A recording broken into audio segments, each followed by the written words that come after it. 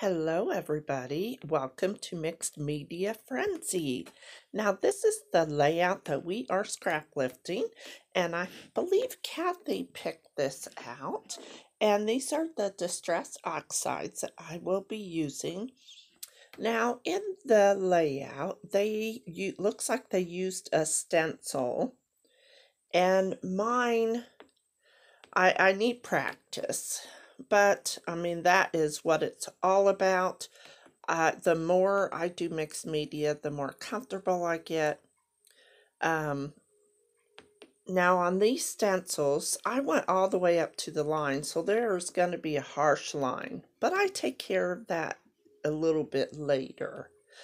Now first, now another tip that I wished I would have um, realized the colors aren't truly the right colors like as I go like my brush I need to stop and clean my brush and um, yeah I, I think it would have helped. Plus after I use the stencil I should have went and washed it off and then done it again because the colors that I used in the beginning bled into the last part I did.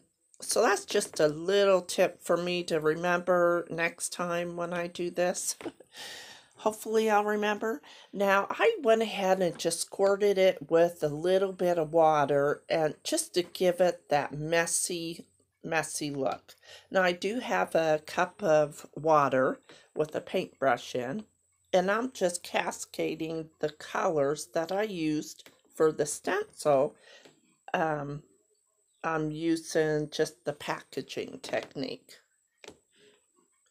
And before I even started, I used clear gesso on the, my background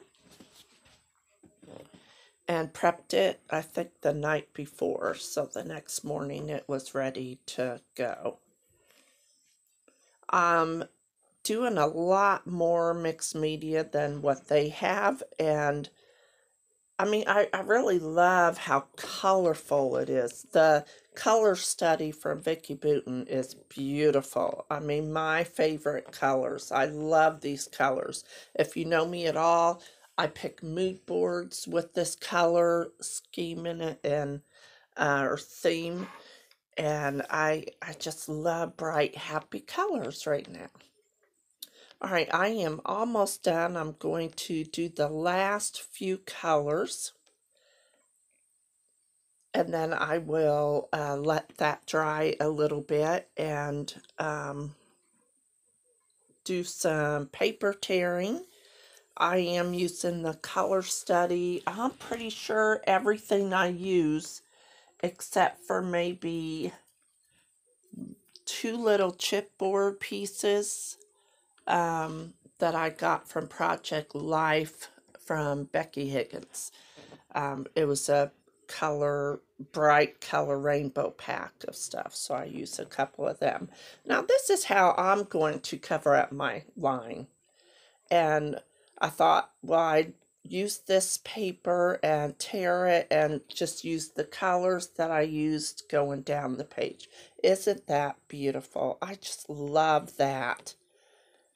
Now I'm going to play and do some, um, here's a shape that I had punched out from, gosh, maybe last month um, for Punched Out Thursday. So I'm going to make a tag out of it. I went ahead and mounted my photo on white cardstock and pink card or pink paper. And then I trimmed it. Now I'm just trying to get a feel of where I want things. I know I want to use this pink tag because it goes really well with Lily's shirt. And I know I want to use the title So Excited uh, uh, the grin on Lily's face, and she has one of her stuffed animals, and she loves stuffed animals. And so I thought that title would be cute. All right, I just don't know where I want the title yet. Now I cut the viewfinder in half, and I'm pretty sure I used the other half on a different layout. And um, but I, I'm using the blue and the green over by the blue and the green. Um, I'm trying to lay the colors where where the right color mixed media is, but some like the green tag, it's over by the orange and yellow, but that's all right. All right, I'm to stop the camera and I fussy cut. I wanted to shrink down the title a little bit. And now I'm getting my stuff glued on. I did go ahead and punch out some reinforcements for my tags. I'm just gluing them on right now. And then I went ahead and tied some bows off camera, so I will glue them on. But I had this little piece that I, it's a torn piece. I wanted to add another layer to this little cluster over here.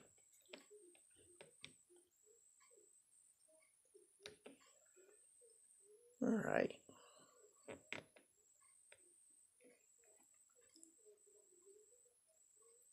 Get that glued down.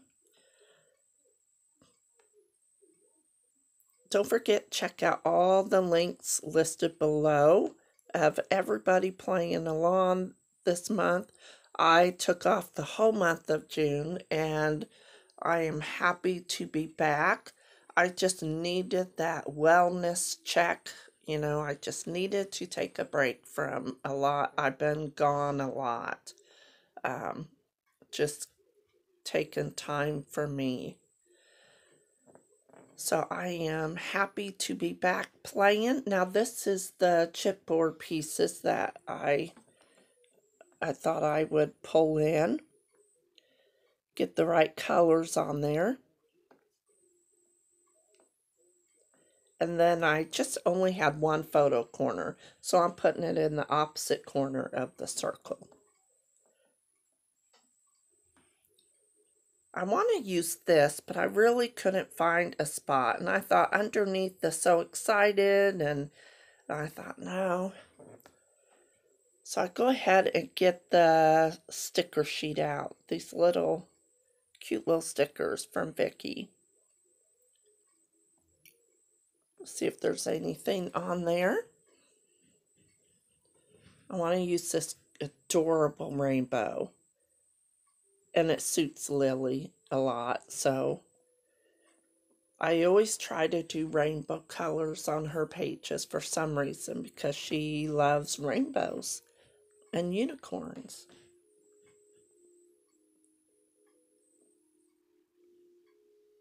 Briley likes unicorns and rainbows too, but she's more of a, a camping, fishing, outdoorsy shy, sweet little girl. So that's a difference. And Lily's more prissy. I love how different they are. All right, so I did put some foam adhesive behind the little rainbow. And now I am just adding these little gold circle dots if I get them off my nails. See, if they're sticking. They're not coming off. off of the sticker sheet. Okay, after I get those on, I'm going to grab the word phrases, and that is also from Vicki Boutin.